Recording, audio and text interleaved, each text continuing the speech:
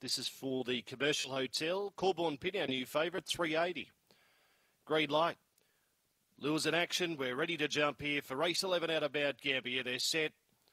Racing off the inside, awesome alpaca began well. Flying Fuel showed speed. The outsider went straight to the lead from Corborn Pin, who's in hot pursuit in second spotter. Four lengths away, Aston Judge, Velocity, Connie Pongo, Awesome Alpaca whipped them in. Uh, taking over now, Corborn Pin. Took over from Flying Fuels. Aston Judge runs on quickly. Up to the bend. Corborn Pin, the leader. Aston Judge is coming on quickly on the outside. They hit it. Corborn Pin uh, just defeated Aston Judge. Third over the line. It's pretty tight, but Flying Fuels will just grab it in front of Velocity, Connie.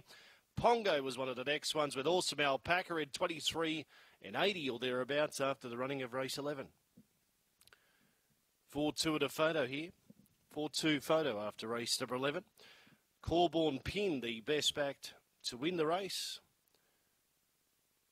So 4 2 in 23.84. 5 is third flying fuels.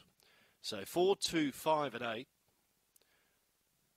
4 Corborn Pin for Lewis Green defeats 2 Aston Judge Dave Peckham. 5 Flying Fuels Jason Newman. Number 8 Velocity Connie Jason Newman.